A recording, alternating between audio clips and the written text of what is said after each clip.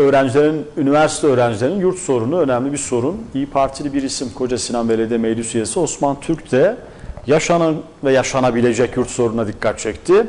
Dikkat bir çağrısı var e, askeri bölge önünde. Hani dikkat askeri bölge girilmez dedirten bir tabela da var ama e, durum farklı. Çünkü boşaltılan lojmanlara dikkat çekti Türk. Üniversite öğrencilerimizin ve ailelerinin en büyük sorunu ülkemiz genelinde yaşanan yurt sorunu dedi. Bakın önerisi ne? Kıymetli hemşerilerimiz, buradan tüm Türkiye'mize sevgilerimi, saygılarımı iletiyorum.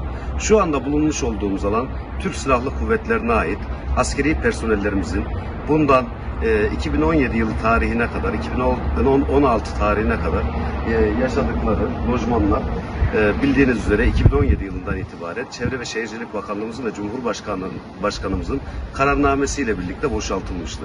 Ve 2017 yılından bu yana görmüş olduğunuz gibi atıl bir vaziyette askerlerimizin de beklediği şekilde işlerisi bomboş vaziyette beklemekte.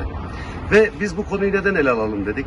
Bilindiği üzere 2022 yılı itibariyle 3,5 milyon civarında bir öğrencimiz üniversite sınavına girdi ve Kayserimizde de ortalama aşağı yukarı 13'limiz Kayserimize gelerek artık şehrimizde okumaya çalışacaklar. Okumaya çalışmalarıyla birlikte de ailelerinin Erciyes Üniversitesi, diğer üniversiteler olmak üzere birçok üniversitede kayıtlarını yaptırdıktan sonra ise çocuklarını nerede barındıracakları problemleri çıkıyor.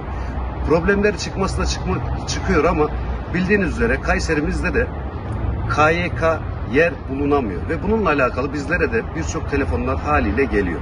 Geliyor gelmesin ama burada görmüş olduğunuz askeriyemize ait lojmanlar ise bomboş yatıyor. Ve buralarda sıcak suyundan tutalım her türlü kullanıma hazır bir kullanıma hazır bir vaziyette beklemekte ve bomboş. Yani 5 yıldır, 6 yıldır bomboş bir vaziyette beklemek yerine bu öğrencilerimize bu imkanları sunup buradaki atıl vaziyette kalan evlerimizi onlara takdim edelim ve KYK yurtları bunları değerlendirsin. Bunları değerlendirildiği takdirde öğrencilerimizin ben şundan eminim ki tüm Türkiye genelinde bir birçok lojmanda öğrencilerimiz rahat edecek ve ev yurdu, ev problemleri kalmayacak. Çok teşekkür ediyorum.